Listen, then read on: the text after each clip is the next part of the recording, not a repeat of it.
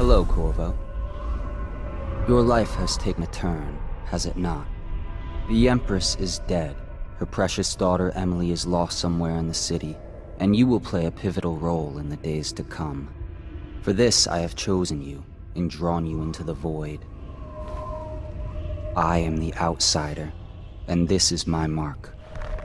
There are forces in the world and beyond the world, great forces that men call magic. And now, these forces will serve your will. Use this newfound power, my gift to you. Come find me.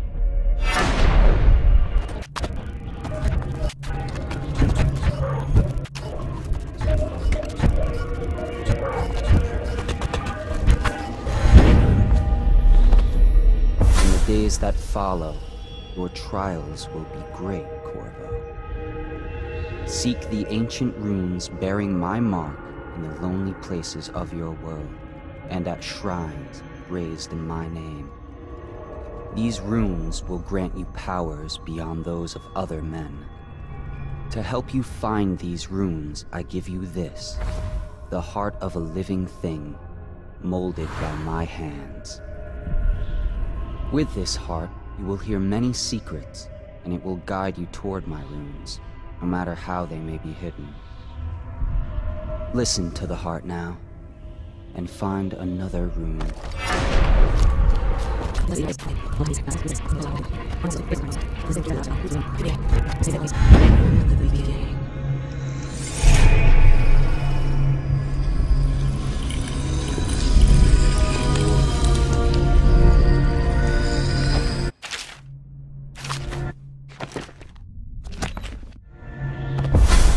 Use what I have given you falls upon you, as it has to the others before you.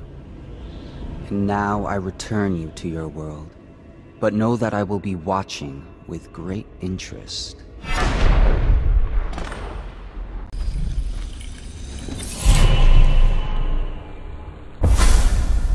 Be careful, Corvo. They call her Granny Rags. You wouldn't recognize her real name, or even the name of her family, but an emperor begged for her hand once, and rich young men fought each other for her favor. I watched her consider them all, measure their worth, and find them wanting. Then, she made a different choice. You're on your way to face the High Overseer, the leader of a great cult dedicated to loathing me. What will you do, I wonder?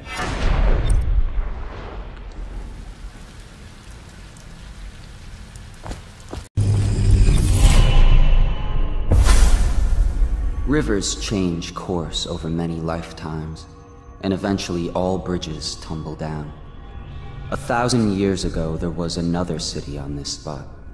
The people carved the bones of whales into runes and inscribed them with my mark. Children still find them washed up in the river mud. Anton Sokolov has made a great study of my runes, but he's not special like you are. He wasn't chosen and he doesn't wear my mark, so he can't unlock their secrets. Sokolov believes there are specific words and acts that can compel me to appear before him. He searches old temples in Pandyssia and ruined sub-basements in the flooded district. He performs disgusting rituals beneath the old abbey. But if he really wants to meet me, he could start by being a bit more interesting. Going to a party, Corvo?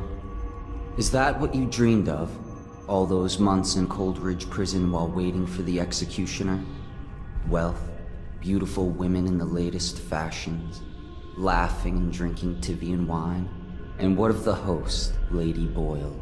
I can see all her tomorrows, and I know that either she dies tonight at your hand, or she'll live out her days, month after month, year after year, far away, even as her fine clothes wear into tatters and her silken hair gets dull and gray.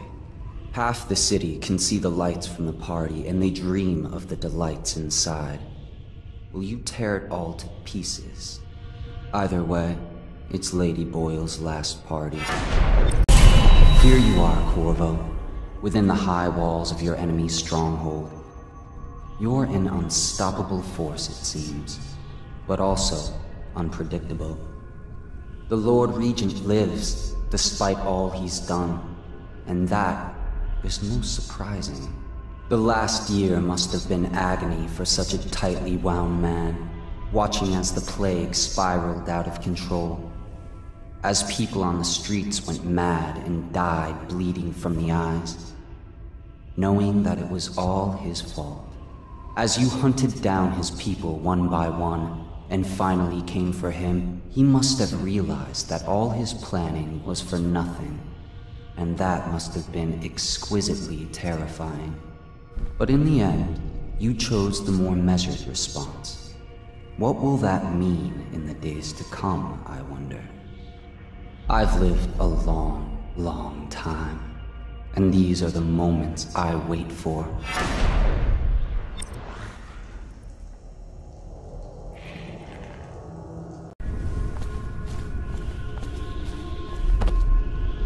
Here you are at last, in a ruined and drowning world, held captive by the man who killed your empress, the assassin Daud. Your friends poisoned you and dumped your body in the river. Did they do it to protect themselves, so no one would ever know what they'd done?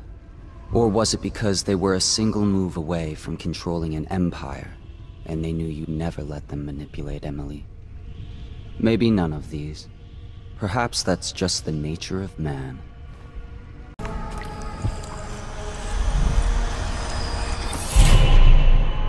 You find your way into such interesting places, Corvo.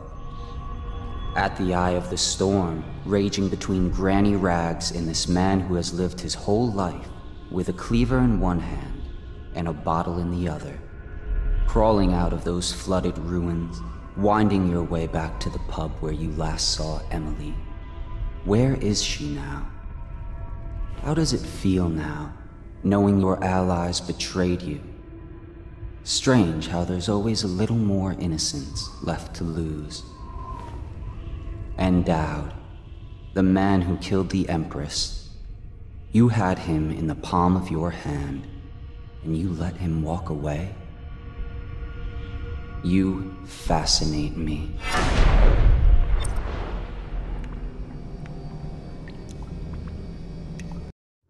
So ends the interregnum, and now Emily Kaldwin I will take her mother's throne after a season of turmoil. You will stand at her side, Corvo, guiding her young mind and protecting her from those who seek to exploit her or cause her harm.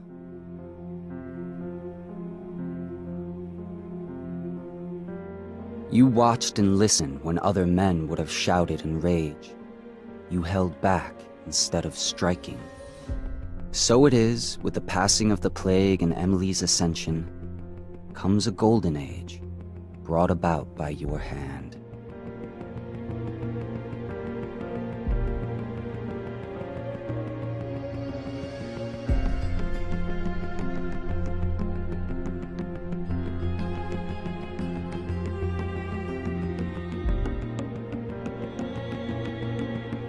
And decades hence, when your hair turns white and you pass from this world, Empress Emily, Emily the Wise, at the height of her power, will lay your body down within her mother's great tomb, because you are more to her than royal protector. Farewell, Corvo. For all of the big and the small, where the taller they stand, where the harder they fall. We live for today, but we die for the next With blood in our veins